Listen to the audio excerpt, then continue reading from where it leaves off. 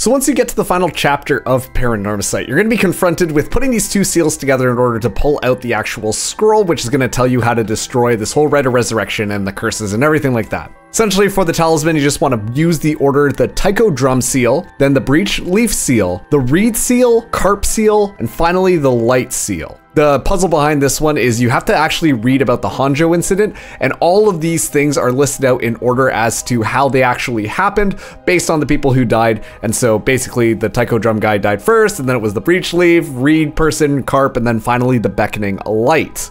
As soon as you open up that seal, well, you're treated to a not so spectacular ending with the couple final protagonists actually biting the dust because the mastermind reveals herself to be Yoko from the very beginning, the very same person that you saved. Of course, the narrator has to button here and let you know that, you know, hey, if you didn't like that, go and change something about that. And that's exactly what you have to do.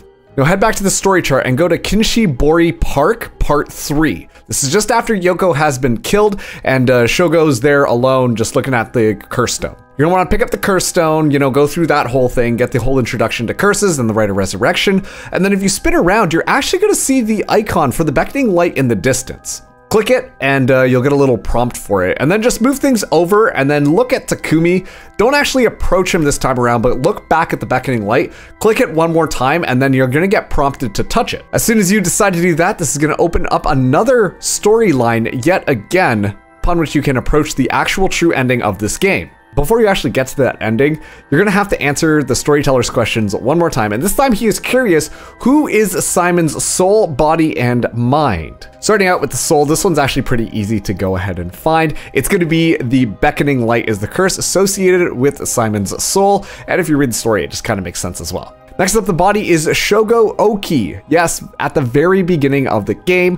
Of course, if you remember, Shogo Okiie was also named as one of the people who was related to Simon. And on top of that, too, earlier Mio did mention how he does have very strong spirit sense, and so he is naturally the candidate, as the body also has to have strong spirit sense, not just be blood related to Simon. And last but not least is the question of the mind. What is the name of the person who is the mind of Simon? Well, it's whatever name you entered into the very beginning of the game. If you do need help, uh, just go into the files and then scroll down in the how to play section of it. And at the very bottom, it'll say whatever name you typed in there if you just wanted to use a fun one. But enter in your own name. And then the storyteller is going to explain everything that happened, which makes a lot of sense. As soon as the curses started coming out, then Simon's mind was reawakened. And then his mind merged with Shogo in order to kind of control the path that was going on. And Simon was able to interfere and give guidance on these paths kind of going through there. So it's all very nicely explained. And once you finally go into the conclusion of it all, then Shogo is going to recall everything that has happened. All of the facts have been put together,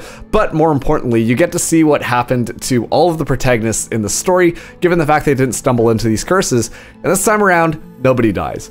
I'm gonna let this one play out, so if you want to watch the ending of this, then feel free to do so. But it, honestly, the game wraps up really nicely, although it does leave a couple of questions. But in general, you know, all the characters are able to find their peace with all of the different crazy plot lines that had happened throughout this entire game. Here's the ending. Enjoy.